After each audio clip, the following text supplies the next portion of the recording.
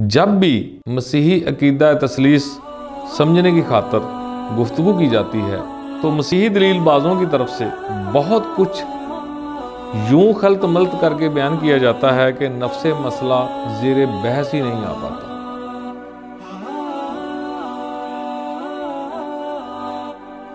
कि कलमा ने बदन अख्तियार किया है। मसीहियों के हाँ इसका मफहूम क्या है?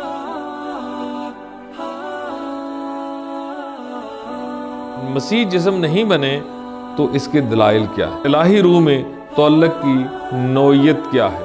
क्या ये दो मुख्तलिफ़ ज़ातों का इतिहाद है? इतिहाद और तजसीम में क्या फ़र्क है?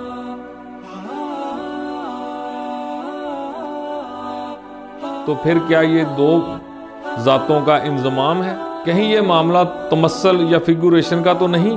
कि खुदा से निकलने वाली ज़ात गैर इलाही नहीं हो सकती। मैं बाप से निकला और दुनिया में आया। तो हिदी मोमिन से भी ये तो रखते हैं। ठोस वजूहत सामने लाकर इसे तर्क करने के इसबाब वाज फरमाएँगे।